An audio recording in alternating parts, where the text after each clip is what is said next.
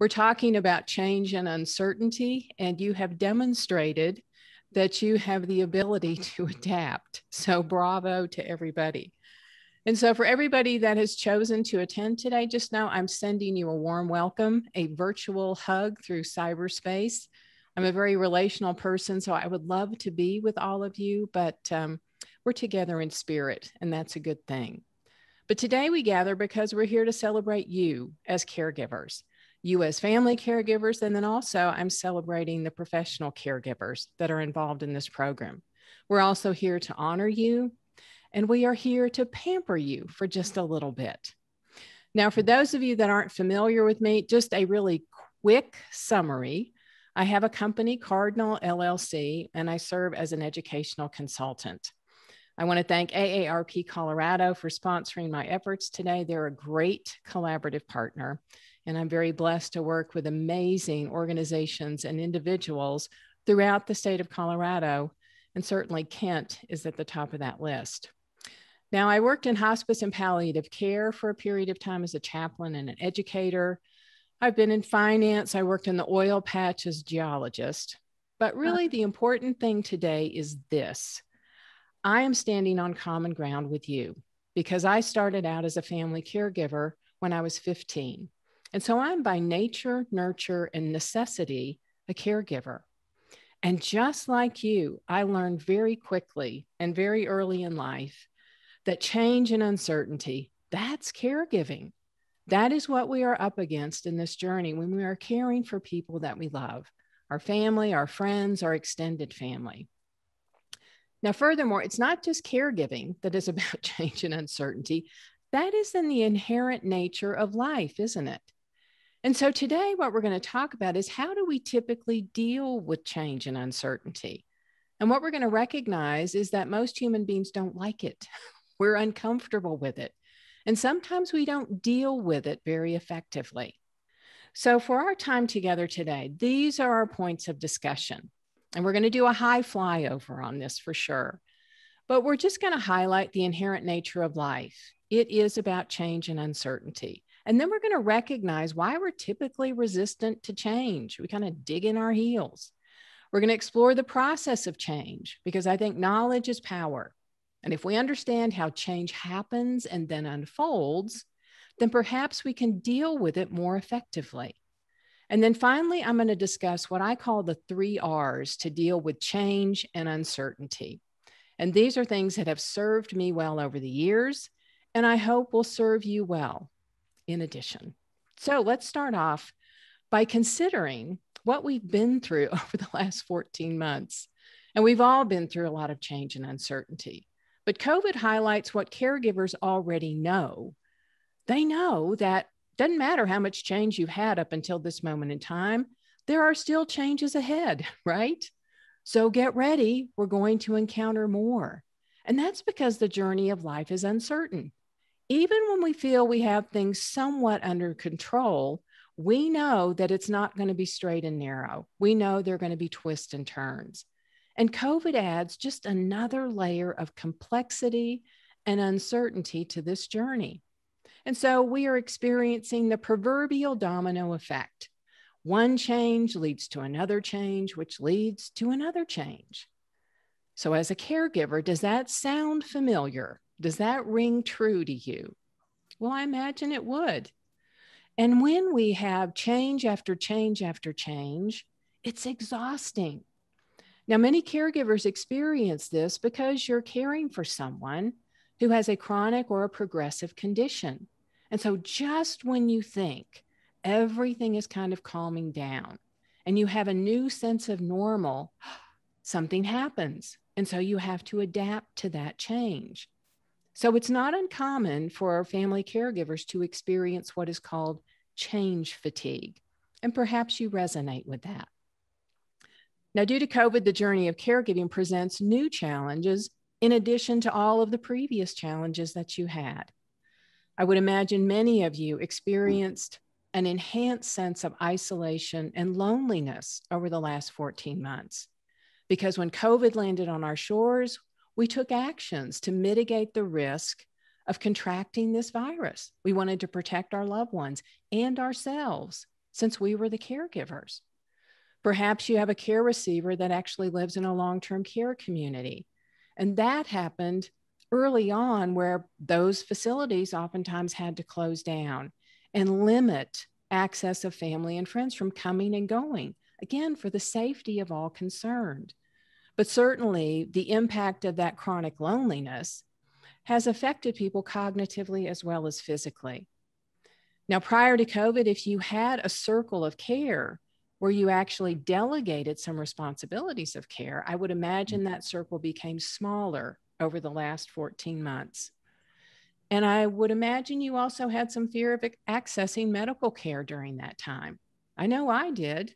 Instead, I used telehealth services. I was not comfortable going into a clinic.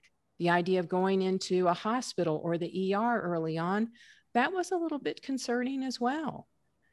And so the bottom line is this we have all been going through what Bruce Feiler in his book, Life is in the Transitions, refers to as a life quake. And this is change on a magnitude that shakes everything up. Now, typically, most human beings don't have more than four or five life quakes throughout their entirety of their journey. But we've had a collective life quake. Everyone has gone through this because it's a global pandemic. So we've all been shaken to our core, which makes it even harder because there's no port in the storm. We're all going through this together. Now, Feiler refers to a life quake as a massive change or a pileup of changes resulting in aftershocks for years. So the dust isn't going to settle on COVID anytime soon. And so we will continue to deal with ongoing change and ongoing uncertainty. So we're all challenged physically, emotionally, mentally, spiritually, and psychosocially. Every facet of our life, every facet of our being is tested. And with all of these changes and many others that you can probably add to the list, it's hard to maintain our balance. And so change has been and is frightening for a lot of us. So if you're feeling this way today, just know you are in very good company. But if we think about change, the only constant in life is change. Just reflect on that for a moment. From the moment you pop out of the womb and you take that first breath, you initiate a continuous process of change. It's called aging. At the cellular level, we are all constantly changing. So if you think about that, it's like, well, we should be well schooled in the nature of change, then, right? We should be masters of change. But instead, we are resistant. Now, if we were all gathered in a room today, I would ask you, do you like change? And most of you would be rocking your head back and forth saying, absolutely not. And why is that? Why do we dislike and resist change? Well, according to experts in the field like Robert Kegan, it's because we have an ingrained immunity to change. We have an immune system that fights off change, just like we have a biological immune system that fights off disease and infection. Well, why does that happen? Well, because we want to hang on to the status quo. We love our sense of normal. We love what is familiar. We love the idea, or at least the illusion, that we have a little bit of control. We know the rules that we play by, we know the little box that we live in. It is our comfort zone. So, when life gets off track, when we are pulled into a different direction because of any kind of change, it's destabilizing. We fear losing control, and we also dislike contemplating an uncertain future. This is not our comfort zone. But change today is our collective reality. It's also our individual reality. And regardless of how much change you've had up until today, again, there is even more change ahead. So, in light of that reality, what mitigates our fear of change? And how can we be inspired to confront uncertainty? How can we deal with it effectively in a life giving way? Well, as I alluded to in the introduction, it's knowledge. Knowledge is power. And so we need knowledge to understand the process of change. And I want to share with you some insights from William Bridges, who was a known expert on organizational change as well as personal change. So today, imagine you are cruising through life on your sea of tranquility and everything is going exactly as planned. So, first and foremost, savor that moment because they are few and far between. So, you're cruising along, and then all of a sudden, something happens change. It is a situational shift. It's as if someone dropped a boulder in your sea of tranquility. And now the seas are rocking and rolling, the clouds are rolling in, storms are coming up, and you're scared. Now, what we need to recognize on this, the magnitude of the waves in our sea of tranquility will correlate directly to the magnitude of the change. So, small changes, you just get a few ripples, right? You can handle that. But big changes, like we're going through today, they generate waves on the order of tsunamis that threaten to knock us off our foundation. And this is life threatening in some situations. Now, William Bridges points out to us, and this is important to recognize we don't fear change, the situational shift, because oftentimes we don't even know change is about to happen. But we certainly fear the turbulence of transitions after change, the consequences of change. Those are the moments in time in which stability is threatened. This is when nothing seems normal, when we look out on our window to the world. And we are desperately longing to go back, to go back to the status quo, to go back to what was. But the sad reality is there's no going back. That is the nature of change.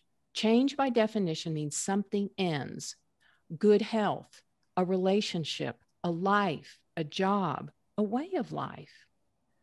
And so life is forever changed in the aftermath of a significant, significant disruption, a life quake in your life.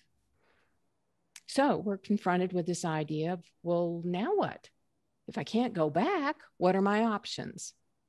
Well, I think the only way forward is first to choose to embrace change. Doesn't mean you have to like it, doesn't mean you have to be happy about it, but this is your reality. And once embraced, you can look forward to establish realistic expectations of this journey. Now, in order to do so, as you can tell, I love images. I think in images and pictures. So I want to give you an image of this process of change and transition because it's beneficial to be able to measure where we are in this process. So I created a model, an image that I call bridge time, that helps me to kind of measure how I'm going during times of change and transition. And it works in this way. Again, imagine that you are walking through the day and everything is going smoothly. You are on a straight path, it is flat, it is easy to ambulate. And then you reach a detour and you are asked to take a sharp right turn. And you take a few strides, and all of a sudden, there is a point in time where, boom, the gradient of your path is very steep. It changes abruptly. That is the left side of this bridge. And metaphorically, that means change happened. Something's different. Something's been lost. Something ended. And you're standing there somewhat perplexed. And now you hear roaring water and you look a little bit forward and you see a huge chasm. And there are turbulent waters of transition before you, and you're thinking, how in the world am I going to get across? And you raise your eyes a little bit higher and you see this lovely bridge before you. It affords you safe passage from one side to the other, metaphorically, from what was to what will be, to your past to your future. Now, this sounds great, doesn't it? Except there's a lot of hard work on this transitional bridge. As you choose to move forward, since change means something ends, you've just experienced a loss. So you're going to be grieving, you're going to be mourning some of the hardest things we do as human beings. And additionally, what this model shows you, it is a one way bridge. The reality is we can't go back we must move forward. Now, as with all models and images, that just looks fabulous, doesn't it? Except it's not quite that easy because when we are standing at the entry to that bridge and we are looking across it, we may not be able to see the other side. We don't know exactly where it's going. We don't know what that new beginning looks like. And that is why transitions are so incredibly scary. And so courage is required. Courage is desperately needed during times of transition. We mm-hmm. must be able to confront our fear and choose to move forward one step at a time. And so it's no wonder we resist change. This is hard work to move through the transitions of life. And it takes everything we have to be brave and bold enough to transition those bridges. So, how do we cross these bridges? What can help us? Well, I want to identify three guiding lights for you. These are tools that you can leverage, and perhaps you already do, but they're resilience, chosen response, and then ritual. And we're just going to touch briefly on these. So, resilience is sometimes defined as the ability to bounce back from adversity. But I love Ama Marston's description of resilience in her book, Type R. She talks about transformative resilience. She said it's the difference between those who fold and those who flourish. It is the ability to learn, to grow, and to spring forward.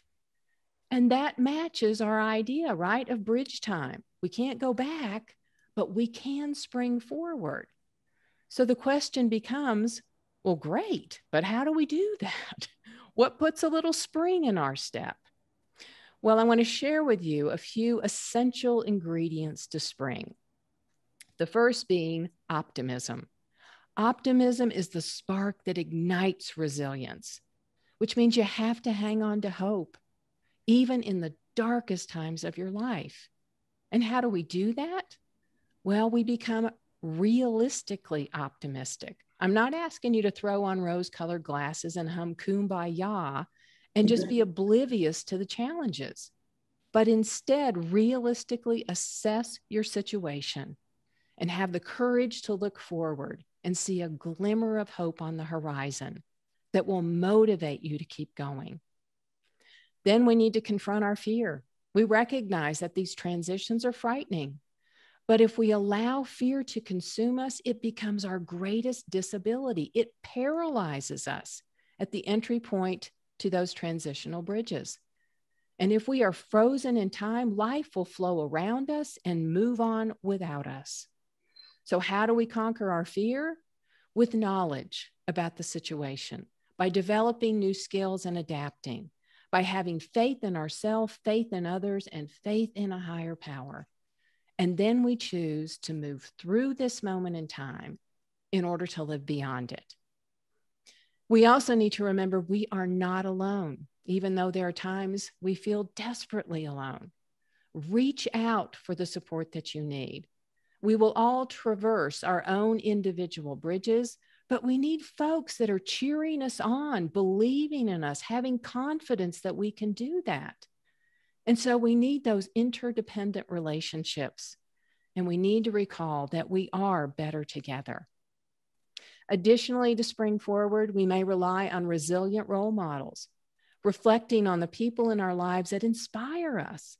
Perhaps our parents, our grandparents, a spouse, a partner, a child, a friend, but someone we can look to and say, hey, look how they handled their challenges. If they can do that, perhaps I can too. And I hope that you can hang on to your humor. Sometimes you just got to laugh, right? And it's not laughing at our circumstances, it's laughing despite our circumstances. It's blowing off some steam with a belly laugh. It's changing the energy in the room. It's just getting it out of our bodies so we can take a deep breath and realize okay, what's next? What do I need to address? And then we certainly need foundational faith, however you choose to define that. I think this is equal in importance to optimism. We need to feel that we're not alone, that we've not been abandoned, by the sacred or the divine presence that we've believed in all of our lives. Brene Brown describes faith in this way faith is a place of mystery where we find the courage to believe what we cannot see and the strength to let go of our fear of uncertainty. So, the bottom line regarding resilience you got to have humor, you got to hang on to that. The bottom line is this, according to Ama Marston Transformational resilience provides the framework and the skills that enable us to use adversity, to use it, to leverage it, to use change, and to use life's challenges as opportunities for innovation, creativity, growth, and transformation. So that's your first guiding light on these transitional bridges. Now let's talk about the second R, and this is response.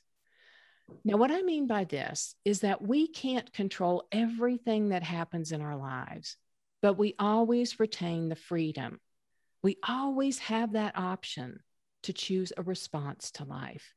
And our response will determine the trajectory of our journey from that point forward.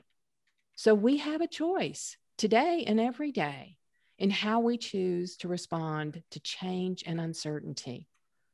And so, my question to you today is this When change happens, when you feel uncertain, are you a carrot, an egg, or a coffee bean? Now, before you answer, and before you think I've absolutely lost my mind, I'm going to share with you a lovely story that will reveal um, the importance of this question. A young woman went to her grandmother and told her about her life and how hard things had become recently. She didn't know how she was going to make it and she wanted to give up. She was done. She was tired of fighting and struggling, and it seemed as one problem was solved, a new one arose. Her grandmother then took her to the kitchen. She filled three pots with water. In the first, she placed carrots. In the second, she placed eggs. And in the last, she placed ground coffee beans. She let them sit and boil without saying a word. In about 20 minutes, she turned off the burners. She fished out the carrots, put them in a bowl. She placed the eggs, put them in another bowl. Then she ladled out the coffee and placed it in a cup. Turning to her granddaughter, she asked, Tell me, what do you see? The granddaughter kind of rolled her eyes and she said, Carrots, eggs, and coffee. Well, her grandmother brought her closer and asked her to feel the carrots. She did and noted that they had gotten soft. She then asked her to take an egg and break it. After pulling off the shell, she observed the hard boiled egg. Finally, she asked her to sip the coffee. The granddaughter smiled as she tasted its rich flavor. The granddaughter then asked, What's the point, Grandma? Her grandmother then explained that each of these objects had faced the same adversity boiling water, but each reacted and responded differently. The carrot went in strong, hard, and unrelenting. However, after being subjected to the boiling water, it softened and became weak. The egg had been fragile. Its thin outer shell had protected its liquid interior. But after sitting through the boiling water, its inside became hardened. The ground coffee beans were unique, however. After they were in the boiling water, they had changed the water. Which are you? She asked her granddaughter. When adversity knocks on your door, how do you respond? Are you a carrot, an egg, or a coffee bean? Now, I think that is a lovely story, but it's also challenging because we recognize that when change and uncertainty and adversity come into our lives, the choice is ours. The choice is yours and how to respond. Will we be softened by life? Are we weakened to the point that we can't stand up to the challenge? Will we be hardened such that we close our hearts and our souls and we risk not hurting again? Or will we choose to change our environment? Will we be proactive, lean into it? and be a transformational presence and choose to move on with life? Well, I think it's up to each one of us, but I hope we will all remember this. We need not be victims of life. That's the importance of response. So, the last R, the third guiding light, is ritual.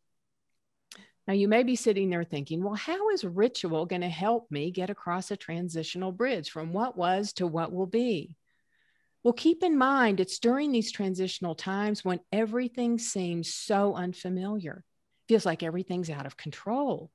It feels like the world is in absolute chaos and crisis. Not the status quo, not the known, right? Well, if we engage and conduct ritual, perhaps a ritual we've known all of our lives, all of a sudden we are in control. We know the next steps. And so it gives us this sense of the familiar, of the normal. And we have a moment in time where we think, okay, I think I'm going to be all right. So let's consider ritual. What is it?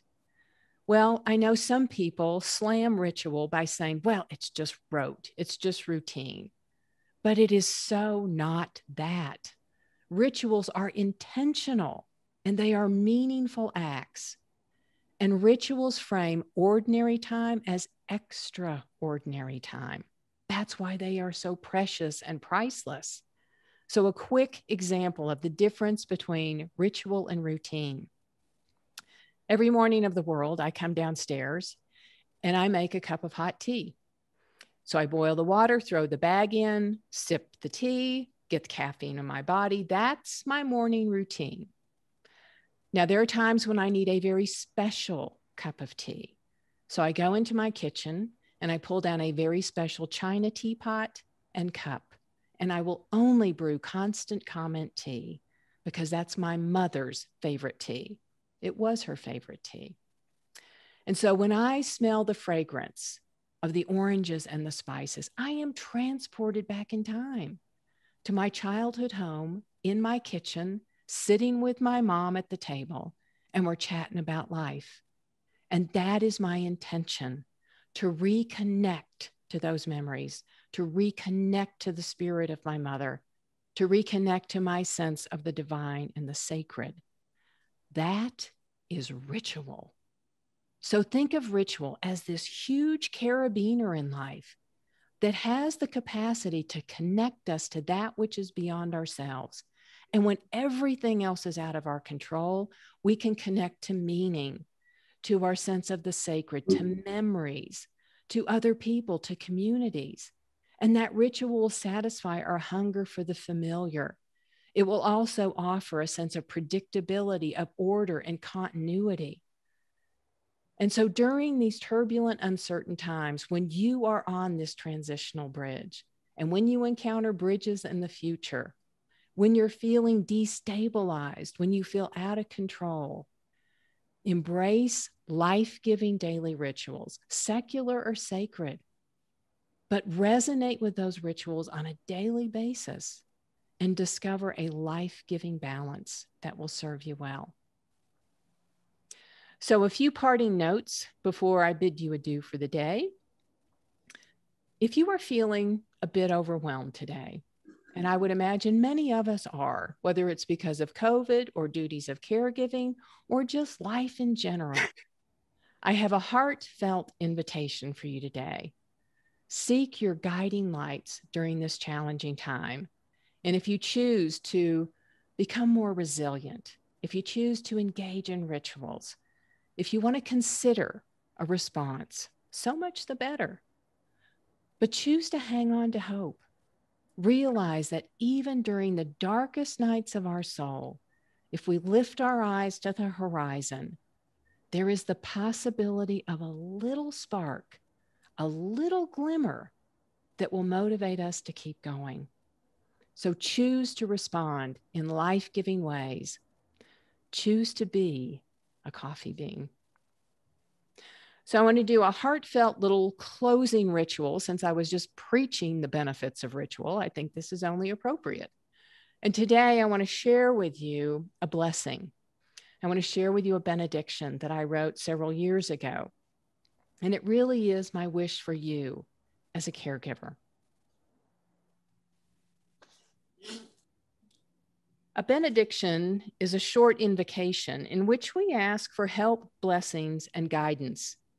Therefore, there is no better way to conclude our conversation today about the journey of caregiving than with a benediction. We need all the help we can get as we care for each other. So, as the caregiving journey unfolds one step at a time, may we all be blessed in the following ways. May we have the courage to care for each other. May we feel companioned in the caregiving journey. May we have the wisdom to prepare to care. May we have the sustaining faith to confront our fears. May we graciously offer and receive help. May we discover strength unimagined during times of loss. May we remain hopeful during the times of trial. May we recognize the sacred in the ordinary. May we engage the journey one step at a time. May we be grateful for the moment. May we humbly answer the call to care. And may we listen well, love deeply, and live fully all the way to the end of the road. May it be so. So, I want to highlight a few resources that you might want to check out after your conference today, after being pampered a little bit. If you're interested in other virtual training, I'm doing a lot of programming this year and it's all online, so it matters not where you live. You can check out my website, cardinallife.com, and click on the events tab. And please know all of these programs are free of charge because I have some great community partners. If you're a reader, I wrote a book, Caregiving for the Genius, a few years ago. It's available at a lot of the libraries, but you can also purchase a copy on Amazon if you're so inclined.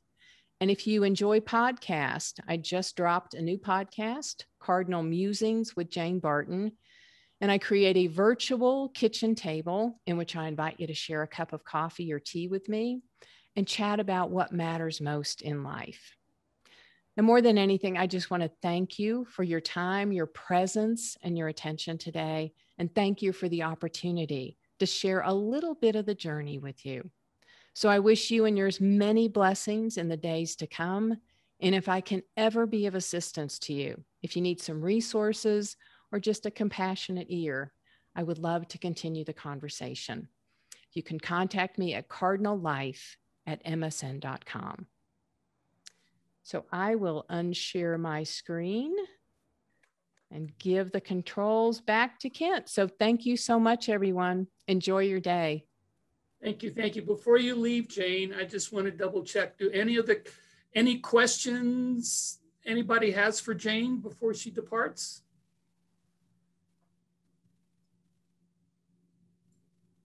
Wow. A silent group. or you can share your stories. I see a hand up at the Medicare yes. Education Center. Yes. You're going to need to unmute.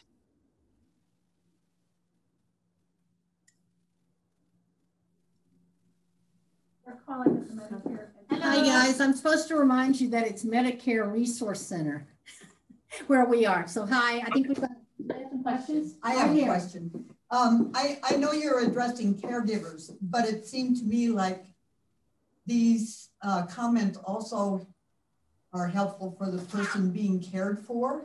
Yeah. yeah. Absolutely. Okay. Really good. That was, uh, you know, uh, that was my question. What about that person? Because it seems like my husband is going through this scared of change bit right now. No, and and you make a great point because actually I've been using this program probably for the last 15 years, but because of the nature of this gathering, I focus the comments specifically to caregivers, but it's actually appropriate for all human beings wherever we are in our journey because we're all challenged by change. We are all challenged by uncertainty. So um, perhaps you can share maybe something, a little takeaway that you had today with your husband as well. Thank you. I I use an analogy. I agree 100% with Jane.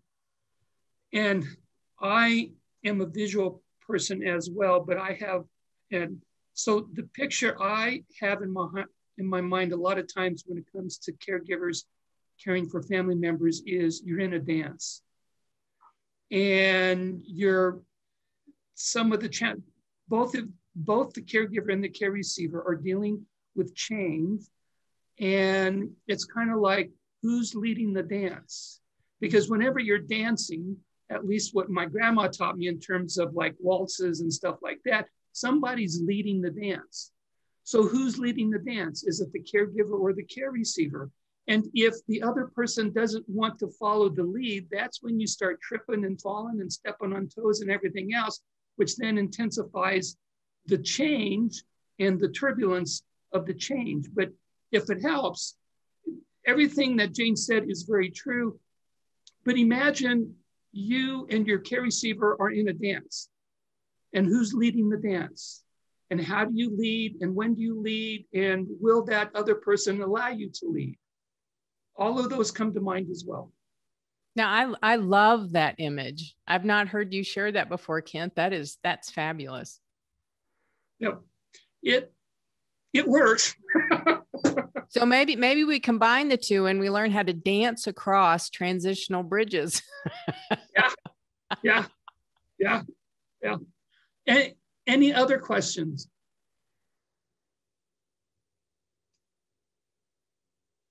Okay. Jane, thank you. Thank you very, very much. I, oh, it's it's always oh, my honor. It's always my delight. And you know, you could ask me anything, Kent, and I would say yes. So um, just know I, I feel so privileged to participate. And um, I just send so many blessings to all the people that put this on because you're right. This is a unique event and just just so honoring and uh, just hugs to all the caregivers that are present today. Thank you. Thank you very much, Jane. Okay, um, we will now take about a five minute break. Before we break, um,